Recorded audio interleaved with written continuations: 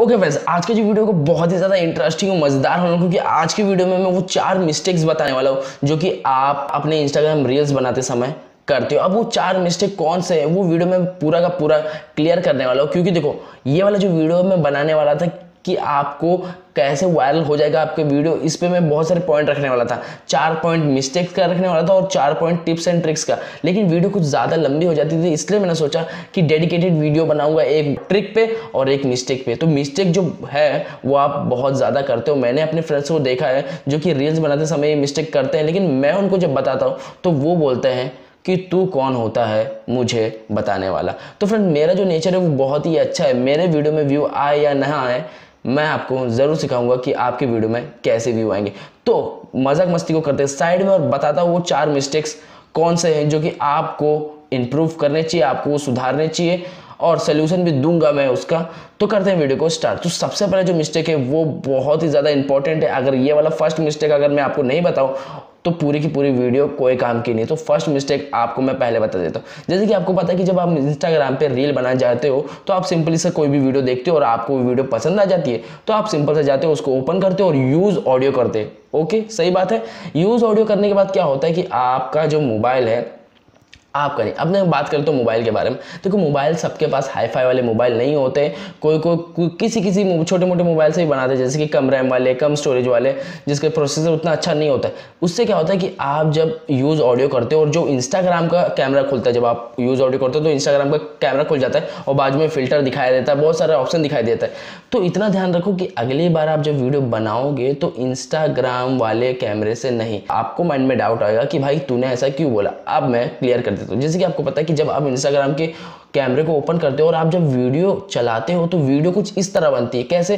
देखो वीडियो चल रही है, आवाज़ पहले आ रहा है, बोल बाद में रहा है, बोल पहले रहा है, आवाज़ बाद में आ रही है। कुछ इस टाइप का कैमरा का वीडियो बनता है, क्योंकि वो कैमरा थोड़ा हैंग करता है, इसकी वजह से वीडियो पूरी वस्ट हो जाती है। आप देखो, वो जो बोल रहा है, वो पहले बोल रहा है या फिर बाद में बोल रहा है, इसमें कोई प्रॉब्लम नहीं है, वो लिपसिंग बराबर कर रहा है। पर वीडियो हैंग हो रही है, इसके वजह से वो पूरा का वीडियो वर्स्ट हो जाता है। तो अब आपको करना क्या? आपको सिंपल सा करना है, दो मोबाइल लेना है। एक से आपको नॉर्मली मोबाइल आपके हाथ में पकड़ना है, जो कि वीडियो रिकॉर्ड करेगा, और एक हाथ में रील्स देखना है, जो कि वीडियो आपको कोई पसंद आएगा तो उसका ऑडियो यूज़ करना है। उसको क्या करना है? सिर्फ़ सिंपल सा वीडियो को चला देना और आवाज़ आता रहेगा साउंड और उसमें आपको लिपसिंग करना है। अब लिपसिंग करना कैसे है? लिपसिंग आप कर सकते हो। अब दोनों को मर्ज कैसे करना है? मर्ज करने के लिए मोबाइल में बहुत सारे सॉफ्टवेयर आ जाते हैं काइंड मास्टर इन शॉर्ट मैं प्रेफर करूँगा आपको इन शॉर्ट इन शॉर्ट से आप ईजी इजीली कौन से भी ऑडियो और वीडियो को मर्ज कर सकते हो। तो आपको इंस्टाग्राम के जो कैमरे होते हैं, उसको यूज़ नहीं करना है। आपको जो अपने मोबाइल का डिफ़ॉल्ट कैमरा मिलता है, उसी को इस्तेमाल कर लो। उससे क्या होता है कि आपका जो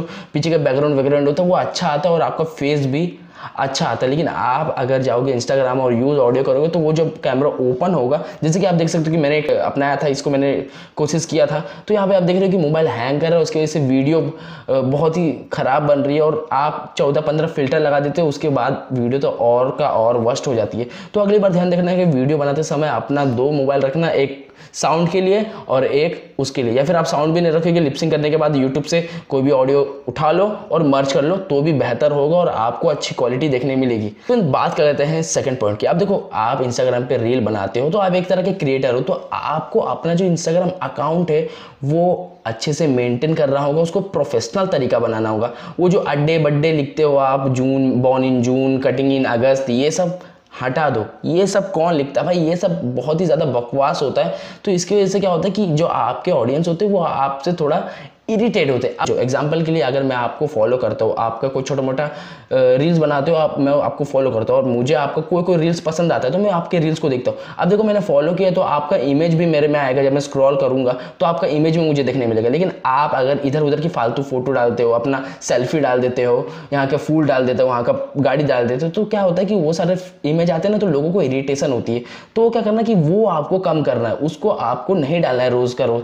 बहुत लोग डालते हैं, सुप्रभात, ये सब वो सब तो ये सब आपको नहीं डालना है और फालतू के इमेजेस नहीं डालने जिसकी वजह से लोग अगर आपको फॉलो भी करें तो वो इरिटेट ना हो और आपको स्क्रॉल ना करें अनफॉलो ना कर दे। तो आपको सिर्फ़ रील्स बनाना है, इतने पे ध्यान देना है और आपको इरिटेटेड वाली फ़ोटो नहीं डालने।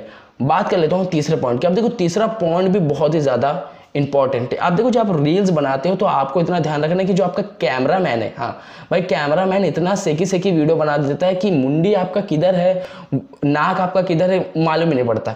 आपको फोकस करने किधर और देते हैं कैमरा मैन को फोकस किधर और कर देता है। तो इतना ध्यान रखना है कि कैमरा मैन को आपको चेंज करना अगर आपका कैमरा मैन अच्छा नहीं है। मेरे को मालूम है, आपने कोई कैमरामैन को भाड़ा नहीं दिया आपको अपने कैमरामैन चेंज करना है जो कि अच्छा खासा वीडियो का नॉलेज रखता हो, जो कि फोकस वोकस सब कर लेता है। कभी कभी क्या होता है कि वीडियो बन जाती है, बाद में मालूम पड़ता है कि जो वीडियो है, उसमें फोकस ही नहीं हुआ और आप उसी तरह से वीडियो पोस्ट कर देते हो और कहीं कैमरा इधर को जा रहा है, मुँह इतना दिख रहा है, कभी बाल इतना दिख रहा है, मुँह दिख रहा है, बाल दिख ही नहीं रहा है, कभी पेट दिख रहा है, कभी पैंट दिख रहा है।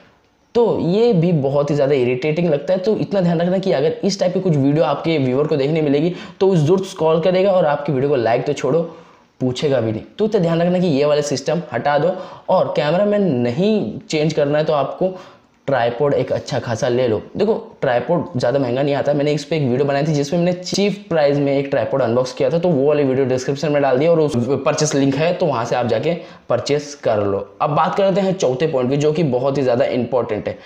Trending topics sorry trending reels जो कि आपको पता है कि देखो ट्रेंडिंग वीडियो जब आती है तो ट्रेंडिंग वीडियो पे वीडियो बनाना ये कोई गलत बात नहीं है कोई मिस्टेक भी नहीं है। मिस्टेक तब होती है जब आप वीडियो तो बना लेते हो भाई ट्रेंडिंग पे, लेकिन तीन दिन के बाद, एक हफ़्ते के बाद, एक महीने के बाद। उससे क्या होता है कि आपने देखा होगा कि कुछ कुछ गाने बहुत ज़्यादा हिट हो जाते हैं और जब ट्रेंडिंग रहते हैं तो लोग सुनते हैं उसको, भाई अच्छा लग रहा है। लेकिन वही सॉन्ग पे गाना बना रहे तो वो एक तरह से इरिटेटिंग लगता है और आपको अपने व्यूवर खो देने पड़ेंगे। मतलब व्यूवर लोग को वही पसंद आए तो वही चीज़ बनाओ। ट्रेंड चल रहा है, लोग देख रहे हैं तो ठीक है, वही बनाओ।